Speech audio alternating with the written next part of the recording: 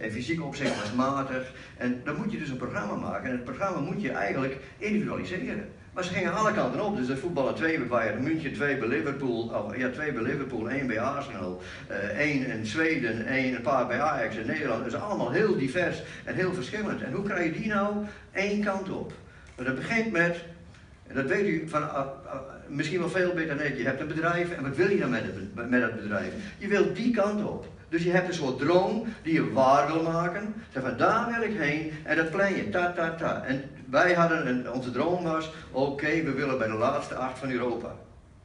Dat was onze droom. Oké, en hoe doen we dat dan? Dus van het begin aan hebben die meisjes uitgelegd van, dit willen we, wij. Willen jullie dat ook? Want jullie moeten het doen, wij niet. Wij kunnen alleen maar zorgen voor voorwaarden. Dat je fysiek beter wordt, dat je tactisch beter wordt, dat je technisch beter wordt. Maar wil je dat ook? Dus er kwam op een muur kwam er allemaal programma. En wat, en wat moet je daarvoor doen dan? Dus het was een avondprogramma, was echt fantastisch, fit en fris. Dus als we aan het toernooi beginnen, moeten we fit en fris zijn.